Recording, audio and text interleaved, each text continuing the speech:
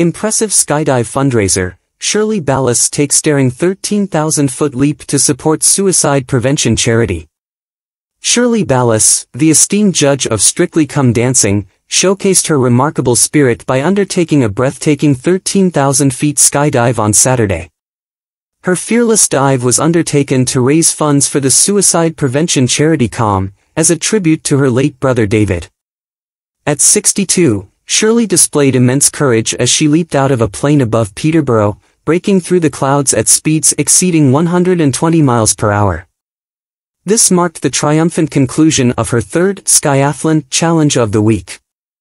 The inspiring star's determination shone as she honored her late brother and supported the campaign against living miserably, CALM, an organization dedicated to aiding individuals grappling with life's challenges and preventing more lives from being lost to suicide.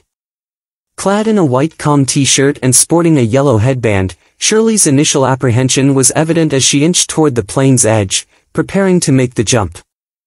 Yet, overcoming her trepidation, she soared through the sky, soaking in the awe-inspiring countryside views spanning four counties. Upon landing, Shirley proudly displayed her hands, on which she had inscribed her late brother David's name, a heartfelt tribute to his memory. Her post-skydive sentiments revealed a mix of lingering fear and exhilaration from the daring feat. The skydiving endeavor marked the culmination of Shirley's three astonishing Skyathlon challenges, which included hurtling across the world's fastest zip line at a mind-boggling 120 miles per hour. Notably, she also accomplished a jaw-dropping 700-foot wing walk in support of CALM, showcasing her unyielding dedication to this vital cause.